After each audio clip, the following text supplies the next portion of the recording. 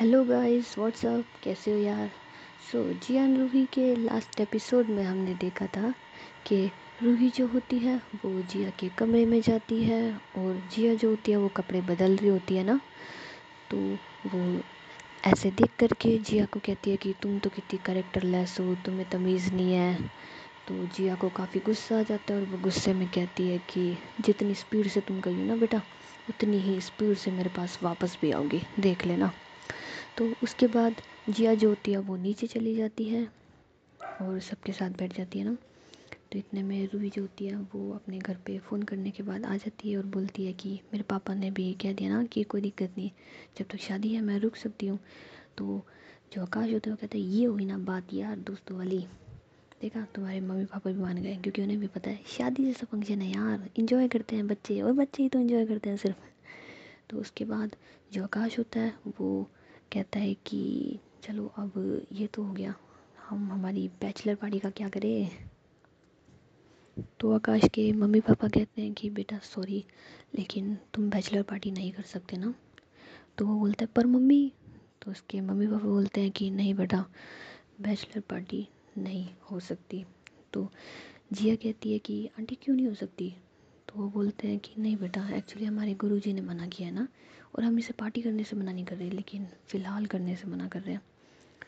तो जिया जो होती है वो फिर कुछ नहीं कहती, क्योंकि भाई गुरु जी का आदेश है। तो उसके बाद जो जिया होती है, वो कहती है कि, यार, मैं कुछ टाइम के लिए एक बार घर चली जाती हूँ ना, वहाँ से कपड़े ले आती हूँ। तो रूही कहती है कि हाँ मुझे भी जाना है ना, कुछ तो कपड़े ले आऊँ, क्योंकि हम दोनों बस ऐसे ही आ गए थे। तो आकाश कहता है, ठीक है तो तुम दोनों साथ ही निकल जाओ तो जिया कहती है कि साथ में? तो आकाश कहता है हाँ तो क्या हुआ? तुम तो ऐसे कह रहे हो जैसे अजनबी हो ना एक दूसरे के लिए। तो रूही जो होती है वो मन में सोचती है कि हाँ ये बात तो सही कह रहा है। और कैसे समझाए तुझे कि हम अजनबी ही तो हैं एक दूसरे के लिए? लेकिन क्या करें, अब तो जाना पड़ेगा। तो उसके बाद जिया जो होती है, वो रूही को उसके घर छोड़ देती है और पूरे रास्ते वो उससे कुछ नहीं कहती ना। तो रूही को लगता है कि यार, ये तो कुछ ज़्यादा ही सीरियस है। लेकिन रूही का तो मन नहीं लग रहा होता ना, वो कोशिश करती है कि यार ये बोले बोले बोले, लेकिन जिया कुछ नहीं बोलती। तो उसके बाद जिया जो होती है, वो रूही को घर ड्रॉप कर देती है और और उस लास्ट में कहती है ना कि तुम अपने आप चल जाना, क्योंकि तुम्हें पसंद नहीं होगा, कोई अजनबी तुम्हें तुम्हारे घर से लेने आए। और तुम्हारे पेरेंट्स भी अलाउ नहीं करेंगे ना तुम्हें किसी अजनबी के साथ जाने के लिए। तो रूही कहती है हाँ तुम सही कह रही हो ना। आफ्टर ऑल मेरे मम्मी पापा तो कहते हैं किसी अजनबी से बात भी नहीं करनी चाहिए और तुम साथ जाने की बात करती हो। तो जिया कहती है हम्म, तभी तो कह रही हूँ अपने आप आ जाना। तो उसके बाद जिया जो होती है वो अपने घर चली जाती है ना और उस नेक्स्ट डे ये लोग जो होते हैं वो आकाश के घर जाते हैं। तो गलती से ये दोनों सेम टाइम पे वहाँ पहुँच जाते हैं।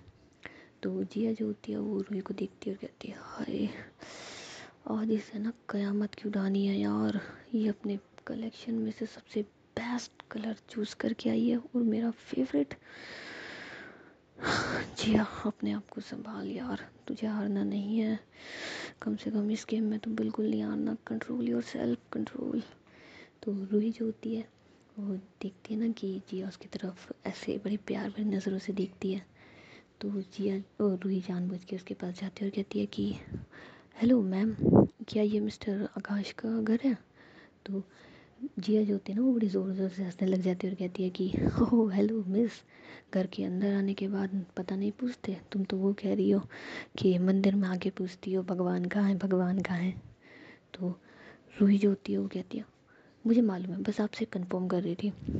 लेकिन आप तो पैदाइशी बदतमीज़ लगती हैं। बदतमीज़ी आती है ना आपको तो तमीज़ तो है नहीं बोलने की। तो जिया जो होती है ना, गुस्से से देखती है कि, मैडम, आप अपने ना लैंग्वेज को थोड़ा संभाल के रखिए। फिर लास्ट टाइम आपने मुझे करेक्टर लेस कहा था और आप बदतमीज़ कह रही है और मुझे तमीज़ नहीं है बोलने की। अगर मैंने मेरी तमीज़ छोड़ी ना तो देख लेना। तो रूही जो होती है वो कहती है, मैडम, तमीज़ तो आप में वैसे भी नहीं है। पहले तमीज़ नहीं थी और अब लगता है सेंस ऑफ़ ह्यूमर नहीं है और कॉमन सेंस तो आप में बिल्कुल नहीं है। वैसे आजकल कॉमन सेंस ना, बहुत कॉमन है, लेकिन आपके अंदर तो वो कॉमन लगता भी नहीं है। तो जिया कहती है वॉट तुम ये कैसे कह सकती हो? तो रूही कहती है, जिस टाइप से आपने मेरा रास्ता रोक रखा है ना, उस हिसाब से तो कह सकती हूँ। तो जिया कहती है ओ मिस तुम आई थी मेरे पास, मैं तुम्हारे पास नहीं आई थी, तुम्हें एड्रेस जानना था। मैंने कहाँ, रास्ता रोका तुमने मेरा और इनफैक्ट तुमने मेरा टाइम वेस्ट किया तो रूही कहती है कि मैडम मैडम मैडम आपको थोड़ी सी गलत फहमी हो रही है ना फ़िलहाल इतनी बकवास करने के बाद आप मेरा टाइम वेस्ट कर रही हैं। तो जिया कहती है, मैडम, दरवाज़ा वहाँ है, आप जा सकती हैं। तो रूही कहती है कि, मुझे दिखता है आँखें ख़राब नहीं है मेरी?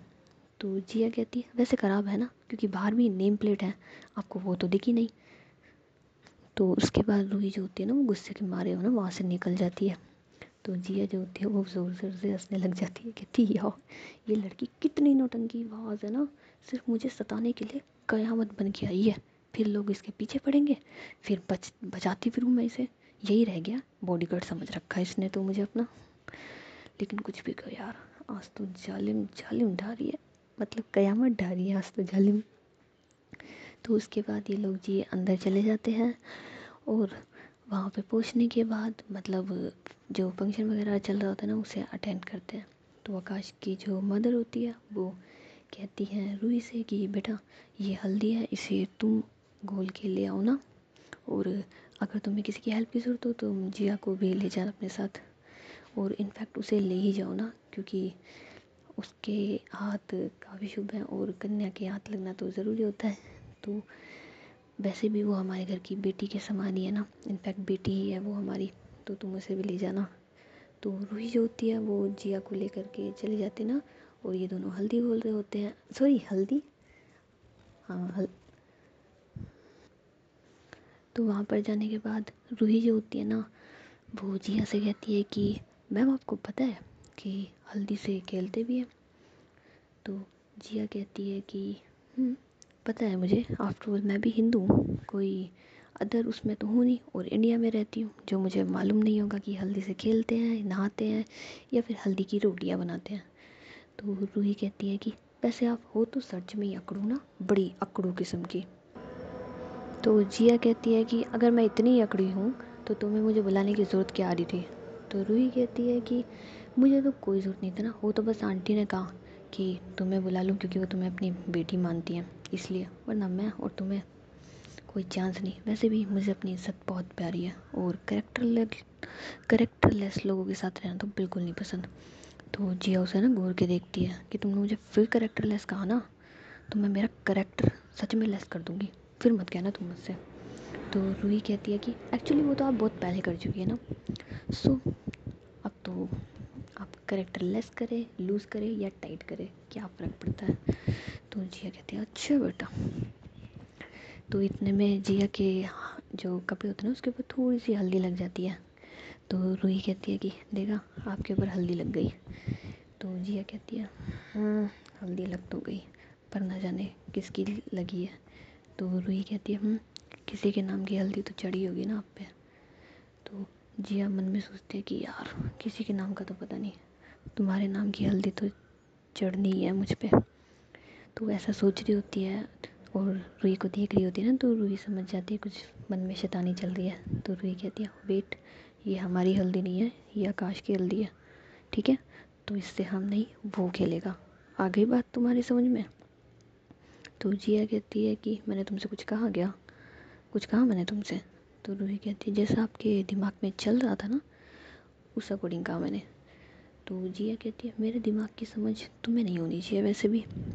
तुम हो कौन? अजनबी तो हो। और अजनबी मुझे इतना अच्छे तरीके से तो बिल्कुल नहीं जान सकते। तो रूही कहती है कि हाँ क्या तो तुम सही रही हो।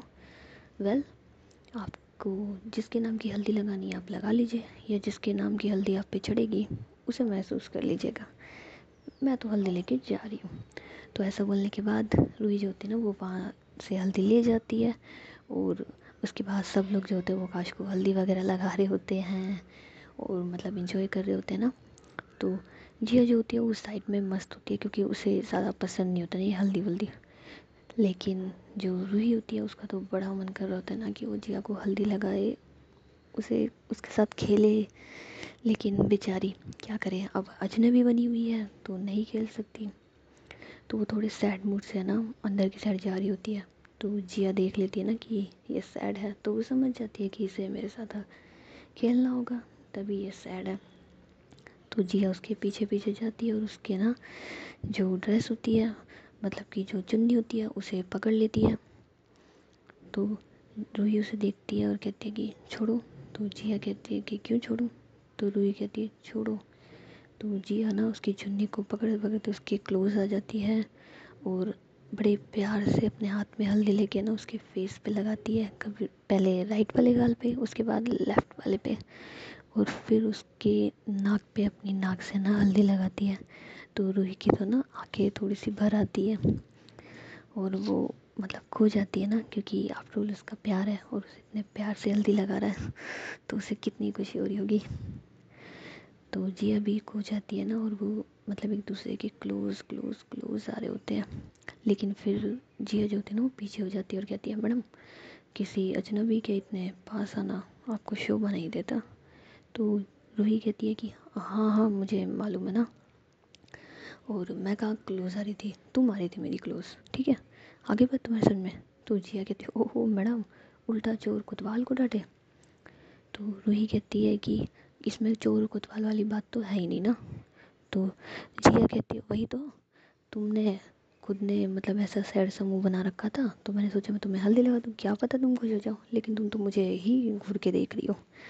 तो जिया जिया से बोलती है तो रूही कहती है कि, मैं तुम्हें कोई घूर के देख रही ना और मैंने कब कहा कि मैं सैड हूँ? मैं तो बिल्कुल सैड नहीं हूँ। मैं तो बहुत खुश हूँ। इनफैक्ट बहुत ज़्यादा खुश हूँ।